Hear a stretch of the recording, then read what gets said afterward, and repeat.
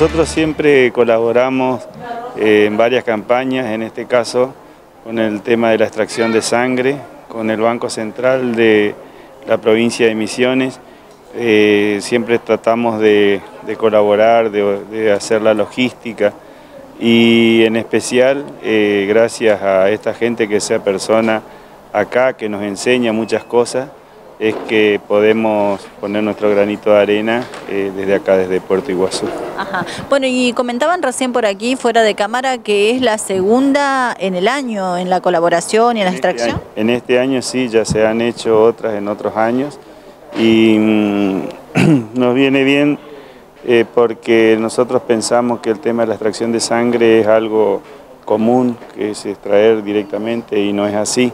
Hay todo un proceso de protocolo que se cumple con las personas, hay una alta confidencialidad, eh, se le preguntan cosas eh, muy íntimas, eh, se tienen en cuenta también factores de enfermedad, de, todo tipo de riesgo y a veces a la edad, cualquier edad que, que tengamos, nos viene bien saber porque por ahí se nos despierta algún, algo que tenemos que no sabemos, que es asintomático, y de golpe eh, nos comunican también en forma muy confidencial que nos hagamos estudio de una cosa o de la otra. Así que eh, sirve también para un análisis eh, preventivo de cada una de las personas que se deciden a donar, con todo lo que significa ser donante de sangre. Claro, lo que significa, como lo hablábamos ayer con el bioquímico, no no es fácil. Eh, cuando te piden sangre no lo puedes ir a comprar a la farmacia o reemplazar de cualquier forma. Es importante que en un día tan especial como hoy, Mundial de por medio, Argentina también, la gente se haya acercado porque tenemos el número de 60 personas aproximadamente. Sí, quizás pensábamos llegar un poco como la anterior, que andábamos cerca de 100 pero eh, es importante que la gente tome conciencia, en especial eh, porque en cualquier momento se lo puede necesitar.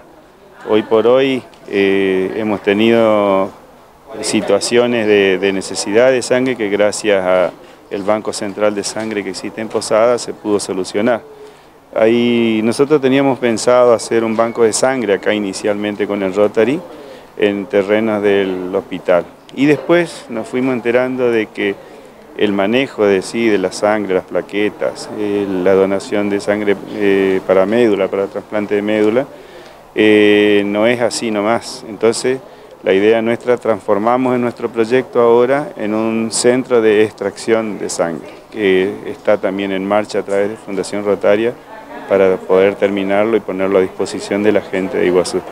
Pero viene bien que la gente tenga conciencia sobre todo, eh, así como muchas otras cosas, lo que significa eh, la sangre tanto para nosotros, para nuestros hijos, nuestros amigos.